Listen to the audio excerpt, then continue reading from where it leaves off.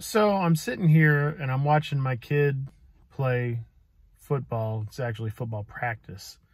And I thought this would be a good time to discuss the collectible show that I just went to in more detail.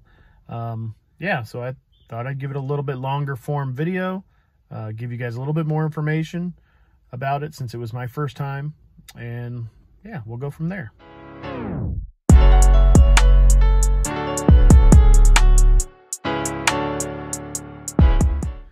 So a lot of you will ask some very basic questions like, you know, how much was it? So it was $30 for myself because I only got half the booth. Um, and normally it would have been $60 for the booth in its entirety.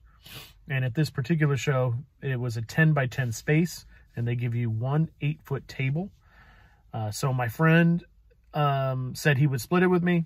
Great. I brought two six foot tables because I had them and we made it into a U shape where we set up all the stuff and instead of them going into the U shape, we had them so they could go around uh, and basically give more space for walking. Um, he had tried to do it where you went instead of going around the U, you went inside the U, and it's just a tiny little spot there uh, for people. So he said people were just jammed up and waiting to get in to look at the games. So we, I think it worked out pretty well. Um, you know, there are a lot of tables around you and other setups, so it got tight for sure when people are going down the sides um, because of the other tables and the other vendors, and it was just it was just tight space. Um, not the best setup, but definitely worked for us on that day. And um, what other what other questions? I know one question I got was, you know, how much did you bring? Uh, knowing you were only getting half of one booth. So I had been prepping for quite a while since he told me that I could take half his booth. I had been just kind of hoarding Game Boys, uh, I uh, Game Boy Advance. I, I, think I had five Game Boy Advance ready to go. Uh, anything from a beater all the way up to uh, a nice Fire Red. Um, I had taken two Nintendo 64 bundles with controllers and cables, uh, one with an expansion, one with a jumper. Uh, I took two complete Wii bundles. I took two PS2 bundles, one fat, one silver slim. So I had a lot of stuff ready to go. A lot of toys. I had been collecting some clearance Funkos and clearance Marvel Legends things. Um, and not pricing them high. I was, you know, just trying to hoard them on the side and putting them in a box and pricing them just for this show. And I was hoping to make a little bit off those things. Uh, but unfortunately, the toys did not do well at all. The new stuff.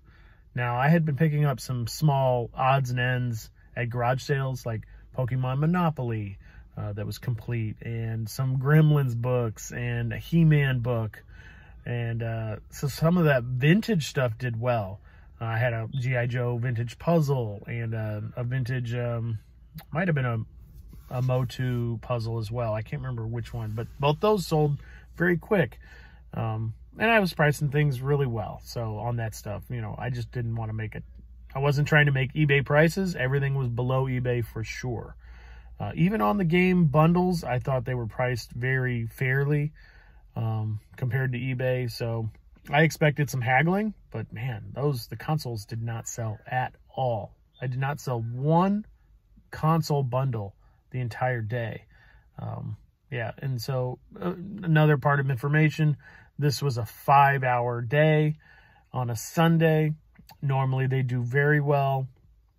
And for this particular show, um, I think I made around $400 after, you know, my table fee and uh, I brought $100 in change. And the only app that I was allowing other, you know, buyers to use was uh, PayPal. That's the only one I still use outside of uh, eBay. It's a cash or PayPal for me, even on Facebook Marketplace. That's the only one I, it's the only one I still trust. Um, I know there's others, and I should get with the times. Venmo, Cash App, all these things, Zelle, whatever. Uh, but I, don't want to pay fees and I, you know, I'm sure there's a workaround like PayPal, friends and family, but, um, so yeah, that's all I was taking, cash and PayPal.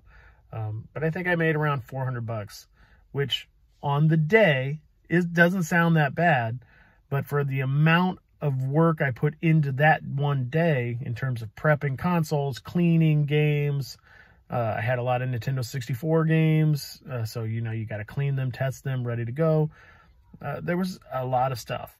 Prepping all my DS cartridges, putting prices on them. I was packaging them. I was doing a lot of prep, and it did not pay off in terms of what I wanted.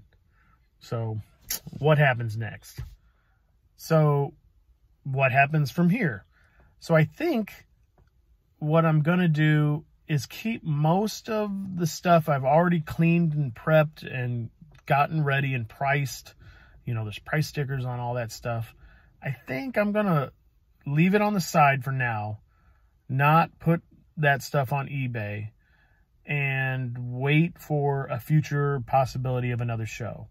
Um, in my area, there are three or four collectibles, flea market shows going on you know, at, you know, a month, every month or two. So there's other opportunities to get in. Um, not all of them are like this particular collectible show, which is where I was at, and they need they have a waiting list of people trying to get a booth. So there are other shows where I could try and get in and try to try to make some money that way. Since I've already got it prepped and ready to go, it won't be too much effort just to take it and set up a table. So I think that's what I'm going to do. Um, because Lord knows I got plenty of stuff in piles that I that I can still go prep for eBay. So I got a hat pile that's at least 200 hats deep, t-shirts galore, jackets galore. I got all that stuff. I need to list jackets for the winter um, and all that sporting stuff. I got football jerseys, all that stuff. So yeah, I don't need to I don't need to hit that video game bundle uh, of stuff to make eBay work. I got plenty of other things. So I think that's what we're going to do. We're going to leave it on the side. Uh, it's already packed up, ready to go, and uh, we'll just wait for the next opportunity. Um, it was a fun day. Um, I'll say that. I got to talk to a lot of people about games, um, a lot of people about collectibles in general. You know, a lot of people were excited to see the stuff that we had, which was nice. Um, yeah, it was just kind of fun that way. Um, so yeah, I think that's what we're going to do. So I'm curious if any of you guys have done these types of shows as well, but most of the shows around here um, are on Sundays.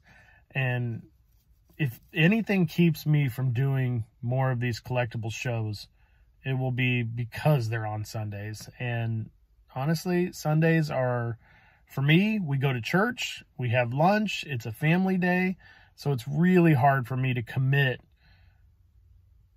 a lot of Sundays to going to do these collectible shows. So I'm curious, is that normal for you guys? Um, are there shows on Saturdays or even Friday nights or something different? Because I'd be much more open to it on a Saturday than on Sunday. Sunday is just, that's a tough day. Uh, but yeah, my, once in a while, I'm hoping, you know, if this becomes a good second stream of uh, sales, that would be That'd be nice. I would like to find that second stream in a local way.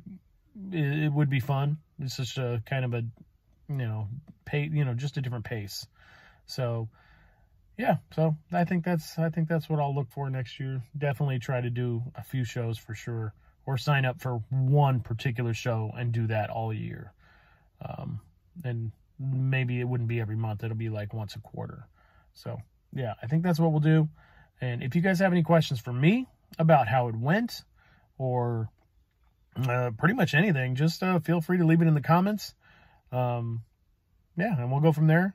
I hope you guys like this video, which is a little different. You know, I'm kind of, I'm in my car, I'm just chilling. Uh, but I thought I would uh, try something a little different and uh, hope you like it. We'll see you guys later.